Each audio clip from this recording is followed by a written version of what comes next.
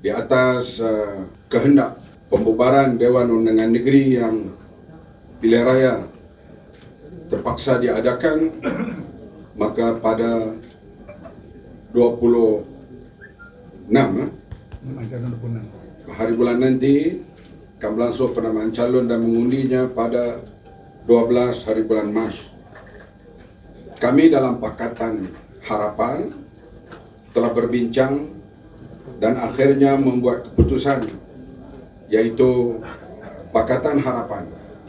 Kali ini di antaranya ialah gabungan tiga parti Amanah DAP dan Keadilan dan juga rakan yang ingin bekerja sama yaitu muda akan bersama dalam bersama Pakatan Harapan untuk bertanding pada 26 hari bulan nanti. Maka setelah berbincang, maka pihak pimpinan negeri dan juga pimpinan amanah federal persekutuan bersetuju untuk mengemukakan 16 orang calon bagi pihak parti amanah mewakili Pakatan Harapan pada pilihan raya pada 26 hari bulan nanti. Nama-nama yang dipilih ini setelah ditapis, dibincang di berbagai peringkat, akhirnya keputusan diambil. Sudah tentu sebarang keputusan yang diambil, ada yang merasakan tidak uh, puas hati dan sebagainya. Bagi saya itu adalah perkara-perkara yang kita kena lalui. Dan kita yakin selepas diumumkan calon-calon ini, seluruh jentera, ahli-ahli dan para penyokong Parti Amanah Negara dan Pakatan Harapan akan bekerja untuk memenangkan calon-calon yang dipilih ini. Kali ini kita memilih slogan ataupun moto perjuangan kita ialah Johor Bangkit.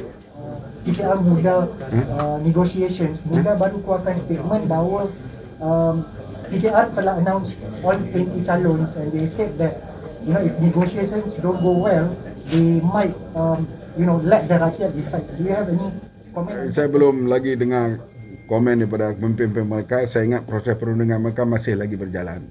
So I uh, reserve to comment lagi lah. Biar dia selesaikan dulu. Okay. sikit keyakinan uh, amanah. Terlalu yakin. Amat yakin kita akan menang kerana pilihan dipaksakan dan pilihan tak perlu rakyat di, diminta keluar untuk mengundi. Kita kena tolaklah pemerintah yang mempermain-mainkan soal keselamatan, kesihatan dan juga demokrasi ini. Okey? Katanya ada uh, letak calon di Permat. So, mana akan Itu uh, parti politik yang ditubuhkan di Malaysia bebas meletakkan calon di mana-mana tidak ada masalah lah bagi kita. Tapi kalau setiap calon tu berdepan lebih daripada penjuru, lebih daripada tiga atau empat penjuru, bagaimana yang akan dilihat? Uh, rakyat akan memilih amanah dan pakatan harapan. InsyaAllah. Okey. Ha. Uh, adakah uh, calon menteri besar dari Pakatan Harapan? Belum kita bincang lagi siapa. Anak saya bukanlah sebab saya tak bertanding. Kalau tidak, saya lah paling layak. Okey, baik semua. Thank you. Ha? Menang ke semua, kita akan menang ke semua.